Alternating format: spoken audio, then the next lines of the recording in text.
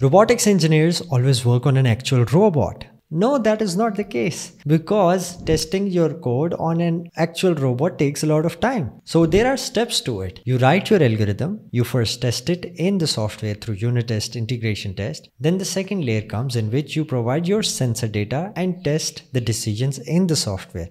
Once that is verified, you move towards testing on your actual robot. The first two steps are very important and you should be very good at it. That requires software development practices and understanding of how your robot behaves. So what is the process? First, you drive your robot, record all of the available possible data of the states of the sensors and whatever the logs that you want to print. Once these logs and your sensor data is recorded, you test your algorithm to perform tracking, segmentation, state estimation, mapping, all of these except the control outputs. You test your algorithms and once those are tested on the software side, you bring to the hardware side. Once all of this done, you push your code onto your repository. So if this sounds interesting and you want to understand more about this process, check the link below.